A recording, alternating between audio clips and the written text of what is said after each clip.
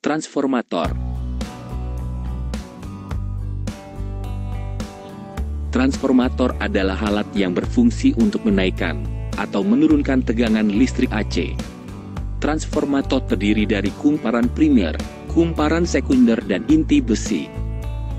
Transformator dibagi menjadi Transformator step up, menaikkan tegangan listrik AC. Transformator step down, menurunkan tegangan listrik AC.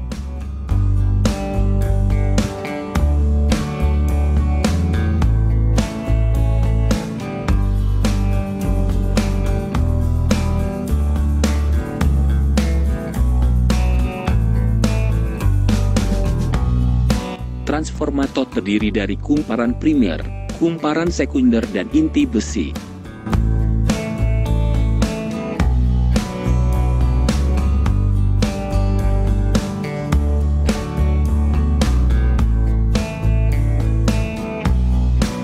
Transformator step down. Jumlah lilitan primer lebih besar dari jumlah lilitan sekunder.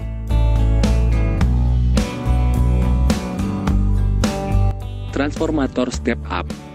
Jumlah lilitan primer lebih kecil dari jumlah lilitan sekunder. Prinsip kerja transformator Kumparan primer dihubungkan dengan tegangan masukan, berupa arus AC atau arus bolak-balik. Oleh karena arus yang berubah-ubah, pada inti besi terjadi perubahan jumlah garis gaya magnetik secara terus-menerus.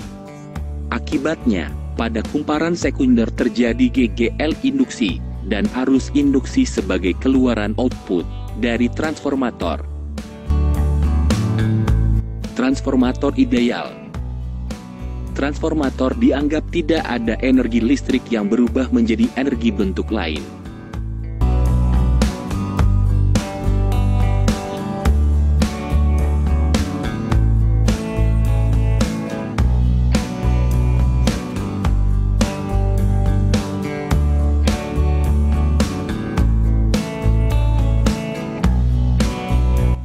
Transformator tidak ideal. Pada kenyataannya tidak ada transformator yang ideal. Sebagian energi listrik berubah menjadi bentuk energi lain dalam transformator, misalnya energi panas. Jadi, untuk transformator tidak ideal selalu berlaku daya sekunder lebih kecil daripada daya primer sehingga efisiensinya lebih kecil dari 100. Contoh